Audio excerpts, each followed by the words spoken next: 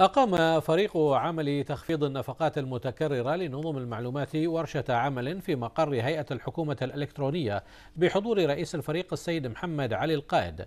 قدمها الرئيس الشريك التنفيذي لشركة جارتنر السيد إريك سميث وذلك للاطلاع على الممارسات الدولية المتبعة في مجال خفض نفقات تقنية المعلومات والاتصالات للشركات والمؤسسات الحكومية. وقد أكد القائد أنه في ظل تكليف اللجنة التنسيقية من نظر النظر في مصروفات تقنية المعلومات وتخفيض النفقات. جاء تنظيم ورشة العمل بهدف النظر للممارسات الدولية المتبعة في هذا المجال. وقد وقع الاختيار على شركة جارتنر لما تمتلكه من خبرة عريقة.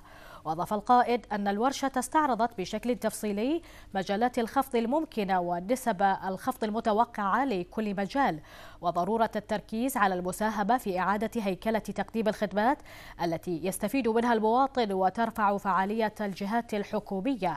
كما ناقشت الورشة استثمارات الحكومة في مجال تقنية المعلومات وركزت على التقنين في الأنظمة الإلكترونية الداخلية للمؤسسة الحكومية.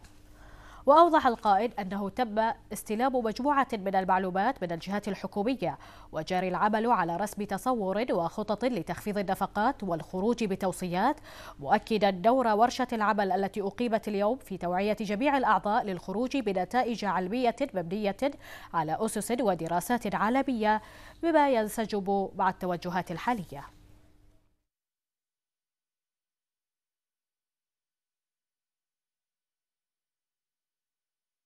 طبعا آه، تكليف اللجنة التنسيقية بالنظر في مصروفات تقنية المعلومات وعمل خفض كبير فيها آه، على مستوى وطني.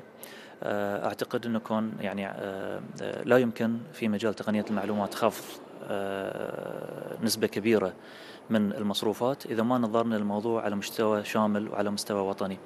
وهذه طبعا اللي تبين الممارسات الدولية. لذلك آه، إحنا قمنا بمباشره العمل من خلال الخبراء الموجودين على مستوى المملكة مختلف الوزارات تشكيل أربع آه، فرق عمل.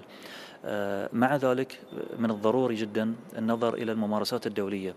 والشركات العالمية مثل شركة جارتنر اللي لها باع أكثر من 20 سنة في مجال خفض النفقات آه، تقنية المعلومات آه، للشركات وأيضا للجهات الحكومية. فأحضرنا حقيقة آه، خبير عمل أكثر من عشر سنوات في هذا المجال. يعطينا نبذة عن هذه الممارسات العالمية. وين كان الخفض ممكن؟ نجح؟ نجحت في المؤسسات الحكومية أو المؤسسات الخاصة في خفض النفقات وأيضا التحديات اللي ممكن تواجه مثل هذه اللجان.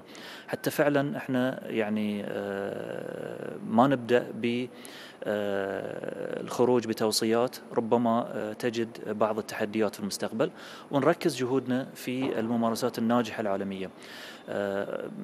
طلبنا إحنا طبعا معلومات من الجهات الحكومية بدأنا نحلل المعلومات عندنا تصور وخطط وتوجه بخفض النفقات. آه، للخروج بتوصيات آه، الورشة اليوم آه، دورها ان هي توعي جميع الأعضاء حتى فعلا يكون يعني نتائج علمية مبنية على أسس ودراسات عالمية وعلى حسب التوجهات العالمية الموجودة في هذا المجال.